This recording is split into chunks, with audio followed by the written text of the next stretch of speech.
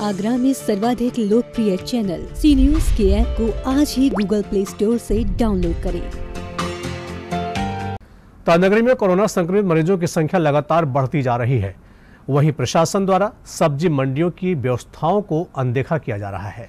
प्रशासन द्वारा सब्ज़ी मंडियों में कोई ठोस इंजाम नहीं किए गए हैं।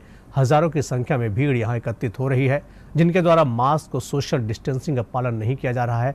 बहरहाल प्रशासन ने कुछ एहतियातन कदम ज़रूर उठा लिया है। आगरा में कोरोना संक्रमित मरीजों की संख्या में लगातार वृद्धि देखी जा रही है। रविवार को यह आंकड़ा दो पहुँच गया।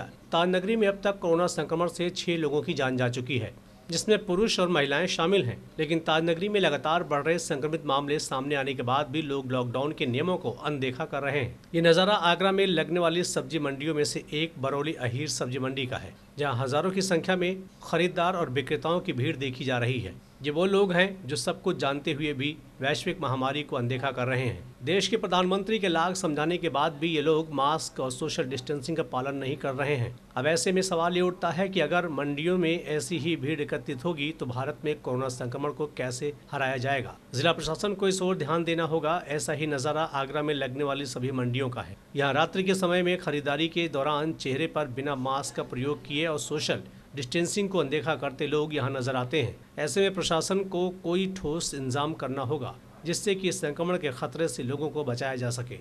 Sandeep Sharma, C news Agra.